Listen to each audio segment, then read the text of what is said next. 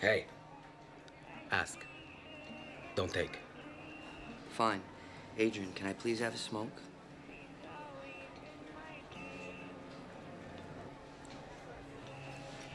Smoke mine? Sure.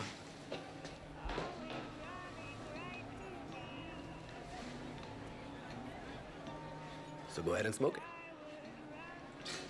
I'm not gonna smoke it in between your toes. Yeah, you are.